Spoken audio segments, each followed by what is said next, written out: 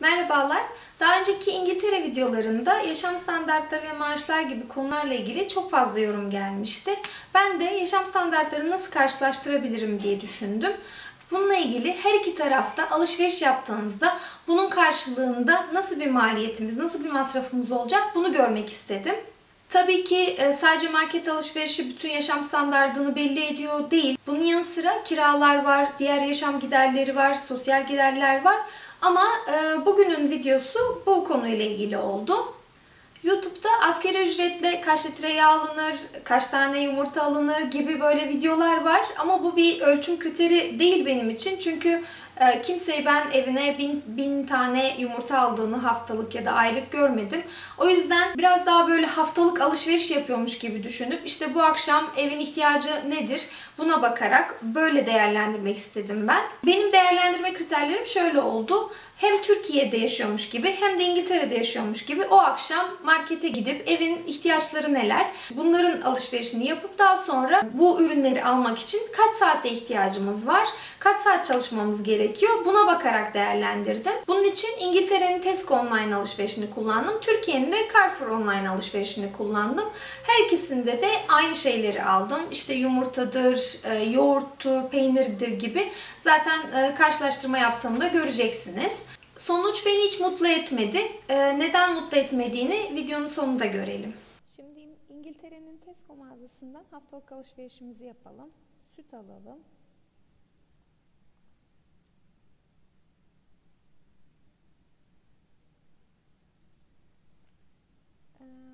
Az yağlı, çok yağlı bundan 2,5 litreye yakın olanından alalım. Sepet ekleyelim bunu.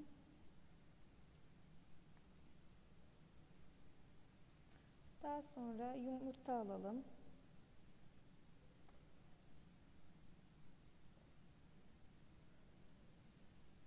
On ikili bir paket. Bunu ekleyelim.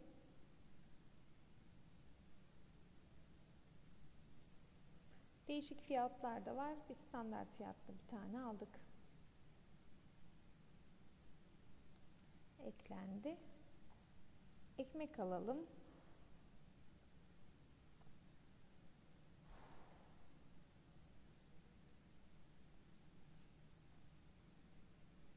Bunlarda kampanya varmış mesela.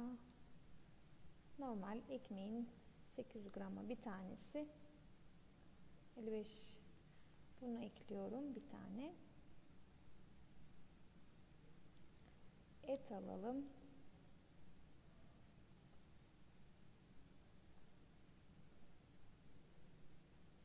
Buradan da 500 gram bir tane et alalım. Hmm, 750 gram bir tane yarım kilo alalım yeter. Daha sonra ne alabiliriz? Peynir alalım.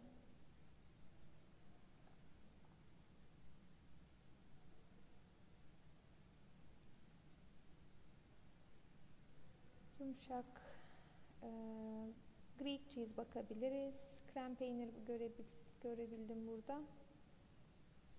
Şundan bir tane alabiliriz. Yumuşak peynir ya da bu olabilir. Bir tane krem peynir ekleyelim.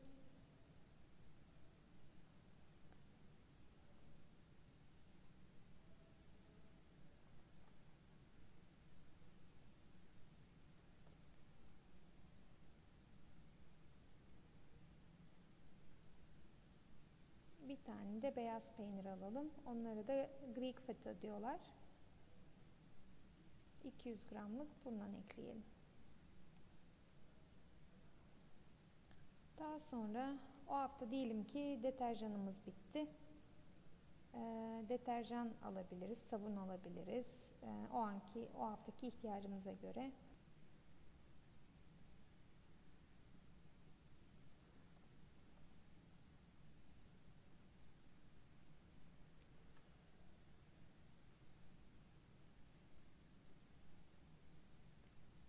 bir buçuk litrelikler var. Buradan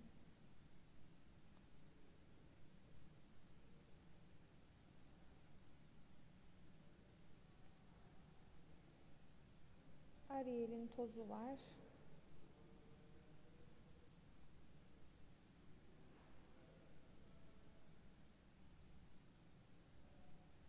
Bir tane 60 yıkama persil alalım.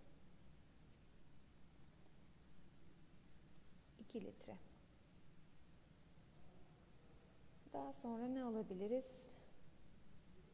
Yoğurt alabiliriz.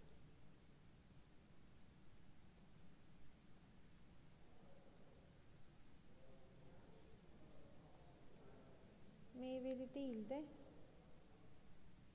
yine beyaz ne kadar 500 gramlık bir yoğurt alabiliriz. Diyelim ki canımız dondurma çekti.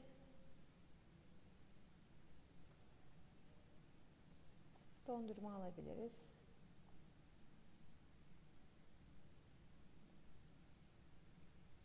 Bir litrelik bir tane klasik alalım.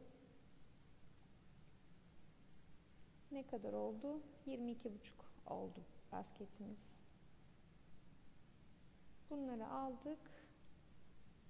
Haftalık alışverişimiz değil tabii ki bu tamamen ama bunlar 22,5 pound yaptı. Bir de içecek menüsünden içecek alabiliriz. Ee, kola alabiliriz.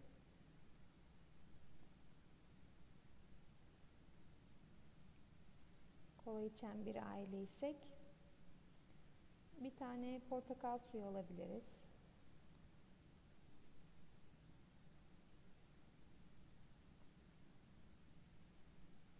Tamam. Türkiye ile karşılaştırma olacağı için şimdilik bu kadar olsun olmazsa 25 pound yaptı bu. Aynılarını bir de Türkiye'den alıp e, neler oldu, neler ne, nasıl bir fark oldu ona bir bakalım.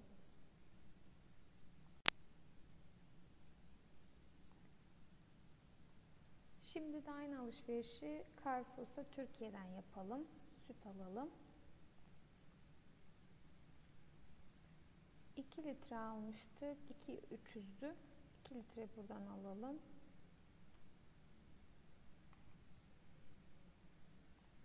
Yumurta.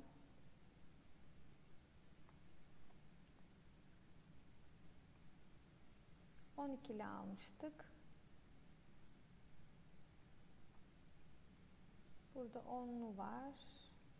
Onlu yumurta alalım.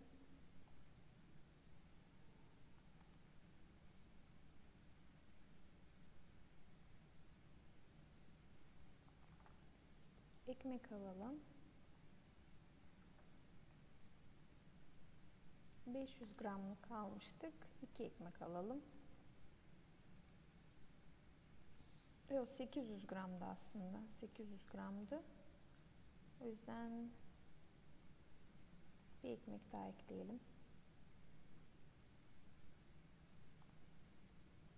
Tamam 3 ekmek oldu. Et alalım. Ah, yarım kilogram aldım. Tamam.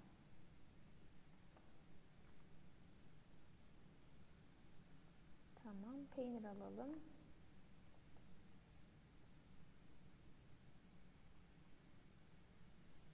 ...200 gram peynir almıştık. Bize peynirler biraz daha büyük.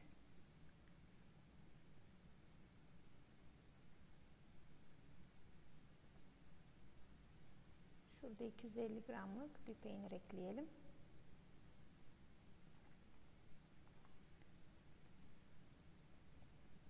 Krem peynir de almıştık. Bir tane de krem peynir ekleyelim. Tamam.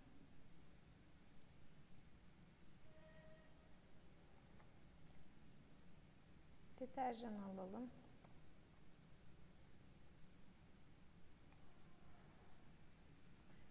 2 litre civarıydı bizim aldığımız 60 yıkamalık deterjanımız vardı.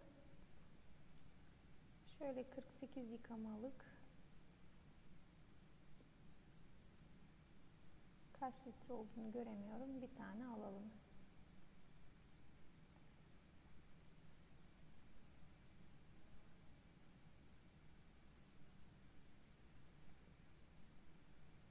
Yoğurt almadık.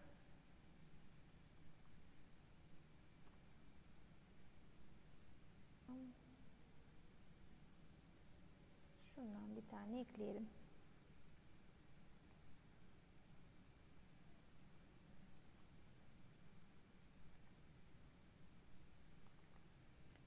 Portakal suyu alalım.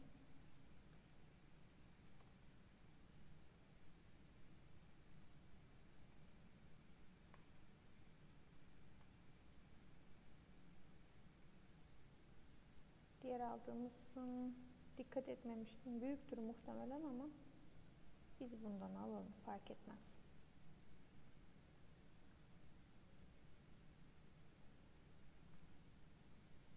Eksik kalan bir şey var mı? Bir bakalım sepette neler var. Dondurma almıştık.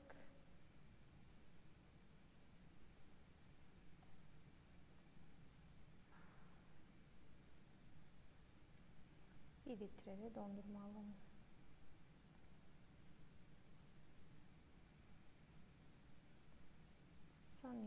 Sanıyorum ki şimdi eşitlendi. Şöyle yan yana bakacak olursak buradan aldıklarımız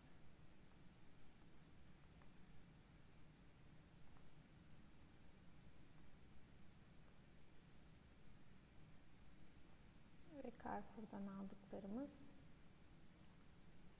portakal suyu, kola dondurma, yoğurt, deterjan,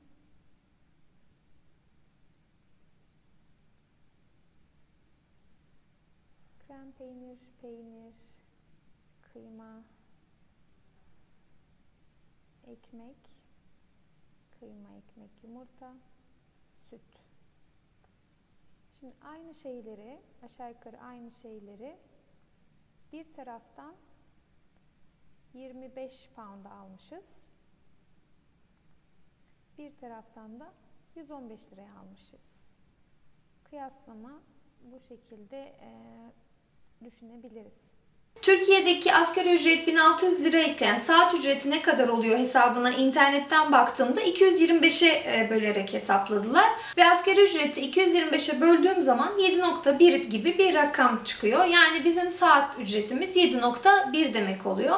Burada 114-115 liralık bir alışverişi 7.1'e böldüğümüz zaman bizim çalışmamız gereken yani Türkiye'de bu alışverişi yapmak için çalışmamız gereken saat 16 saat demek oluyor. İngiltere'de askeri saat ücreti 7.83 iken burada yaptığımız alışverişi 25 poundluk bir alışveriş 7.83'e böldüğümüzde 3 ve 3,5 saat arası bir vakit çıkıyor. Yani bizim Türkiye'de aynı alışverişi yapmamız için 16 saat çalışmamız gerekirken İngiltere'de sadece 3,5 saat çalışarak aynı alışverişi yapabiliyoruz. Yani bunu e, düşünmek aslında biraz üzücü gerçekten. Çünkü İngiltere'de e, daha az çalışmayla karnını doyurabilir insan. Bu bu anlama geliyor. Fakat Türkiye'de sadece haftalık bir alışveriş için bile e, ki bu her şey değil de aldıklarımız sadece belli ihtiyaçlar. Bunun yanında bir ailenin çok daha fazla ihtiyaçları oluyor. Sadece bu alışveriş için bile iki güne yakın bir zaman çalışması gerekiyor anlamına geliyor. Benim değerlendirmem bu şekilde oldu. Belki yanlış bir değerlendirme yapmış olabilirim. Eğer yanlış gördüğünüz yanları varsa yorumlara yazarsanız mutlu olurum.